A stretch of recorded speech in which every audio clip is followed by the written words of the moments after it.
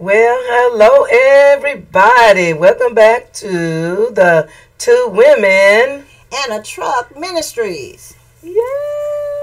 Today we have what we think is a really, really relevant and hot topic.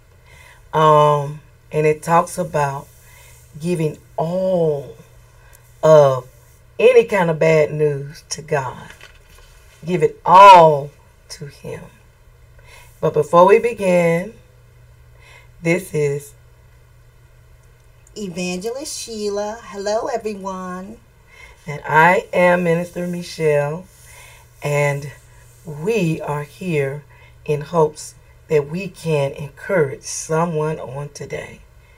Sis, would you like to open us up with prayer? Yes. Okay. Praise the Lord, everyone. At this time, we ask that you get in a position to go into prayer and keep our focus on God right now, no matter what's around you. If you're in your kitchen, you're in your car, you're on your cell phone at this time. Dear Father God, we want to thank you for this day, dear God. We want to thank you once again for your grace and mercy. Mm. And dear God, we invite you into this platform today, dear God, that you would have your way. We ask you, Holy Spirit, you to move in a great way, dear God, that you de- de- decrease us mm-hmm. and increase you. Yes. Dear God, that someone may hear a word of hope today, something that they would touch their spirit and their mind and their soul, and they say, What must I do to be saved? Mm. Dear God, and we just thank you for this opportunity, dear God, because, because of you and yes. not ourselves. Mm-hmm. In the name of Jesus, amen. Amen. And so to begin, I'm going to first talk a little bit about what do I mean by the bad news, okay? So, studies have linked the consumption of bad news to increase distress, anxiety, and depression, even when the news in question is relatively mundane. So, what does that mean? Well, first, let's talk about how bad news affects the brain. Okay? Studies say and have shown that watching negative news can increase anxious and sad moods and increase worry in areas unrelated to the negative content that we're consuming. Again, what does that have to do with bad news? Well, everything. Because when we consume a lot of, for example, the news on TV, what does it do to our bodies? Well, it says that it increases anxiousness, sadness, your moods increase, and you you you begin to, to get a lot of negativity into your own life, which affects your what? Your brain. So, how does bad news also affect our lives? Sis, can you read that part? It can increase our risk of develop, developing post-traumatic stress, anxiety, and depression. Mm. Now, there's emerging evidence that the emotional fallout of news coverage can even affect our physical health, increasing our chances of having a heart attack, developing health problems years later. Um, I wanted to add, Minister Michelle, to that bad news. It depends on what the bad news is and mm-hmm. how devastating it is, mm-hmm. how it can affect us instantly even later on down years down the line, anxiety, you know, even as my personal life where I was, you know, I have gotten bad news. Mm-hmm. And it's what we do in the bad news, no matter how devastating it is. Yes. And it says bad news can come in many forms. Yes. It's how we deal with it, exactly what I said, how we deal with it mm-hmm. determines how we get through it. Yes. If he brings you to it, he'll bring you through it. Yes. And it says the different forms of bad news be, can be rejection. Mm-hmm. is the sense of being unwanted and unable to receive love from others, mm-hmm. or when someone tells you that they no longer need your services. Now, that is so true. Rejection is bad news to people that can't accept what the truth is and that they're no longer needed or things are not working out mm-hmm. and that they don't receive the love that they want from others. Mm-hmm. And also, denial could be bad news. Mm-hmm. You know, denial of someone, a situation, or let's say for example something that you've been waiting on you know like it says it may be delayed but never denied mm-hmm.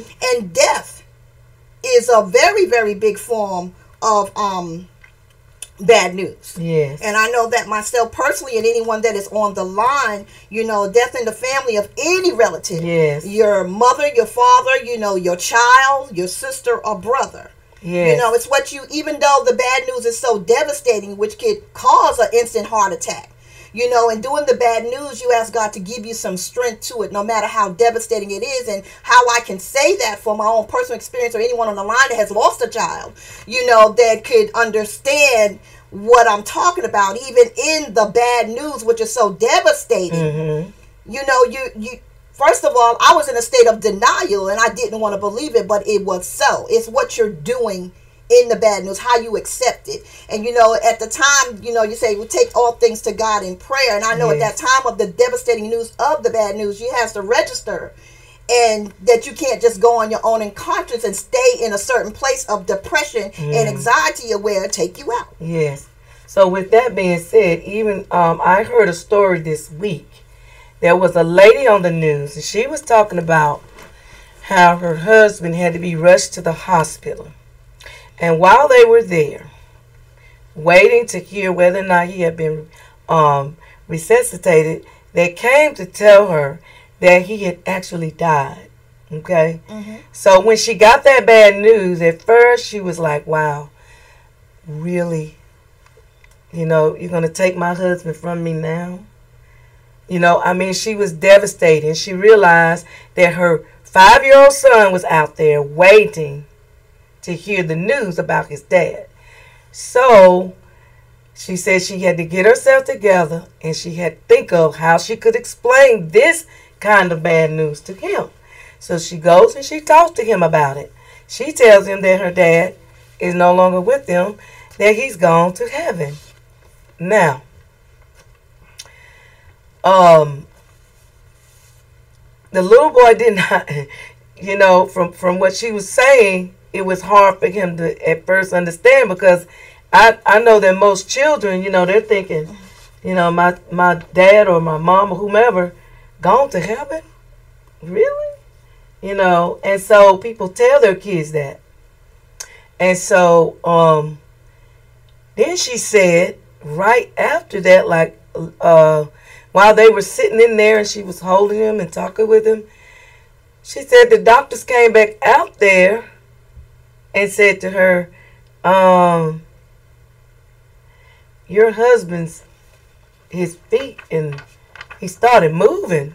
And she said what? And so now she is in what we talked about earlier in the waiting. Mm-hmm. because they found out that he had actually slipped into a coma.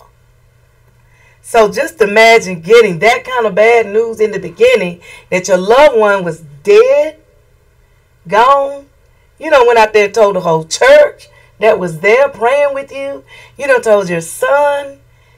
And then after all of that, later on they came back and they had to tell you that, well, he's not really dead, he's in a coma. So I can't I can't even imagine, you know, I know what it's like to get bad news of a of a death in the family because of oh, when my grandmother died and my brother and my uncle, you know, all those were just like, you know, and I thought it was going to overtake me, especially when my, my brother died and then like three months later my uncle died and i was like it just took me a moment. You know all this bad news was like happening one after the other. And so we're going to move on to the next one which says negative evaluations. And what does that one say A negative performance evaluation almost always means the employee won't get public recognition for his job performance. Mhm. This means he might feel excluded and de de franchise franchise eventually. This exclusion based on the employee's own poor performance can lead to a de- demoralized approach to work. So, and when I saw that, it reminded me of a friend of mine that got a bad evaluation. And he he and his wife both worked together at the same company. And so when it came time for his evaluation to be done, he said he didn't understand how they could do that to him. After he had done work so many years and then all of a sudden he get this bad evaluation and he's told that his service is no longer needed. And he said that was devastating because they moved his wife to that position. Mm-hmm. You know, and he felt like, well, I helped her get up there. But then y'all gonna knock me out the picture, tell me. I mean, it hurt him terribly. And to this day, he's still dealing with it. And he said that was like um almost 10 years ago. And he still has yet to get over it. So I can't, I can't, I can just, you know, getting a bad evaluation. And, and even some people, they say, have even gone to great lengths as to want to beat up the boss or, you know, start a fight on the job because they got a bad evaluation. And, you know, uh, some people just can't handle that kind of bad news. So, looking in the book, our devotion book that we had, it talks about bad news. This, what is it? What is that one? in the devotional book, it talks about bad news. It said, They will have no fear of bad news. Their hearts are steadfast, trusting in the Lord. In this age of technology, we can be inundated with happenings from around the world. News is always at our fingertips, and often it's not good. Sometimes we are waiting for the personal, waiting for the personal life changing kind of news, the medical report, the upshot of job interview, mm. the test score, and our fear is that the result will not be what we hope. Mm. Psalms 112 tells us that we do not have to, to fear bad news. If our hearts are righteous, we are steadfast and secure in the Lord. In spite of any alarming information coming our way, we can be at peace because we are safe in God's hands. Mm. Mm, what fears tend to take over your mind? Can you give them to God today? If you have any fears, anyone that's on online that is in, can you give those fears to God today? And with that being said, there was a scripture that came, another scripture that came up, because you just read Psalms 112, mm-hmm. 7 through 8. Wait, 7. You read mm-hmm. verse 7. But 8 also says their hearts are what? Secure. Mm-hmm. They will have no what? No fear. Yeah. Right? Yeah. they would have no fear. Of bad news. Mm-hmm. Because in the end, they will look in triumph on their what? Their foes. Their foes. So we do have a a way of securing ourselves with the Lord, yeah. even when we're going through. Yes. The bad news can overtake us if we don't realize and trust in the in the, in the scripture, right? Yeah, where God gives us, mm-hmm. yes, He gives us a scripture to help us fight back. Yes. Bad news. When you're when you when you're getting that bad news, you got to learn to go back to scripture. Go back to the word. Pick up that Psalms 112, 7 through 8. Read it out loud. Say that will have I will have no fear of bad news. Mm-hmm. You got to tell it to yourself. I will have no fear of bad news. My heart is what? Steadfast and trusting in the Lord. Sometimes you got to preach that to yourself. Mm-hmm. And know that your heart is secure. Yes, you have to be able to encourage yourself too, even as others encourage you. And I, I'm looking at Romans 8.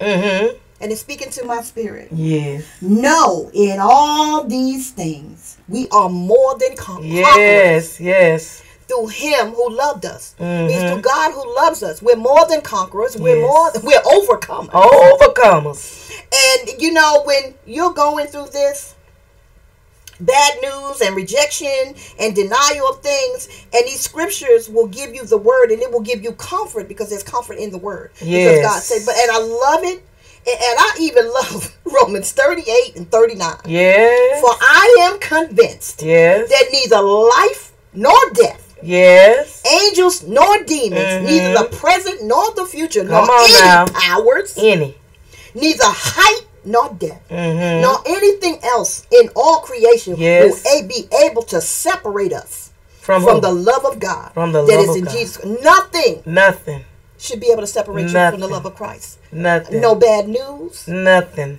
no bad report. None. Because whose report are you going to believe? The report of the Lord. Yes. I don't care what it looks like. You speak life Yes. into the situation. Speak it. Even Mhm. when the walls and the whole Come on now. the floor and falling down. Yes. Tears are coming down your eyes. Yes. Because I have a testimony Yes. Where I can trust in the God. Yes. And nothing will separate me or us Yes. from God. We can always ask for forgiveness. That won't Mhm. separate. We throw it in the, the sea of forgiveness. And Yes, it, Lord. ask, God will forgive you, but you forgive yourself as well. Yes. Yes. Do know that put your trust in what He never fails. Man will fail you. Mhm. People will fail you. Family will fail you. Yes. Friend, but God, He never fails. His hand never changes. He never changes. Mm. Don't get me started. All right. Just hold You on to His word and. His promises. Because Yes. this is a promise. It is. And His promises are yes and amen. Yes. So remember that in all the bad news that you get, give it to who? To God. Give Him control of it all. Yes. He is a merciful and loving and forgiving God. yes. And that's why He says to cast all your cares and worries unto Yeah. Him. Bring it to Him And the altar. let Leave it there. Him Uh-huh. take care of it. Yes, and He will. And with that being said, He We are- will if you let Him. yes, You got to let Him. You have Because He has all power. That's right. He does. He does. And with that being said, we're going to go ahead and close. And we're going to close with prayer. And if and remember, if there's anybody out there that's in need of prayer, if you are in need of prayer, please let us know. Please let us know. Remember, um, we are with uh, the House of Power Mm-hmm. which is on Facebook as well, YouTube, and we are more than glad to pray for you. You know, you have the option to type in, please lift me up in prayer as you are watching us. So if you're one of those people that are in need of prayer, we will be more than happy to pray for you. And anything? I'm sorry. Hmm? No, go ahead. We ask, Before we end, we ask you all to subscribe and like on this channel. If you need prayers, Minister Michelle said, you can put it in the comments below. We just thank God for the listening ear, the, the person that's out there that needs a word. yes. I, I really feel that someone out there needed a word today to know Mm. that. And it's the word of God, not our words. We're just vessel. He speaks through us as Yes. we speak to, to the people. His people, the even the body of Christ. You know, all of us, the, the saved and unsaved. Mm. You know, so we just thank God for the opportunity for two women in a truck ministries to Yes. be able to do the work for the kingdom. Amen. Let us bow our heads. Father God, we thank you once again for this most beautiful day on September 3rd, Lord, where all your people have gathered together at some point, some place. Lord God, those that you have woke up this morning and you've Yes, given them another chance. You've given us all another chance, Lord, to come together to ask you for forgiveness of our sins and our shortcomings. To ask you, Lord, to continue to lead and guide us. Lord, so many of us are lost. So many of us are still trying to find our way. Yeah. So many of us are still downcast with lots of bad news. Yeah. But oh God, oh God, we know that we serve a risen Savior who lives today. And how do we know that He lives? He lives within our hearts. Yes. And He says that I will never leave you nor forsake you. yes, God. All you have to do is call on me Yes. and I will answer. All you have to do is just call and I will answer. Lift up your voice unto the Lord and give him all of your cares because he wants to be able to take care of them.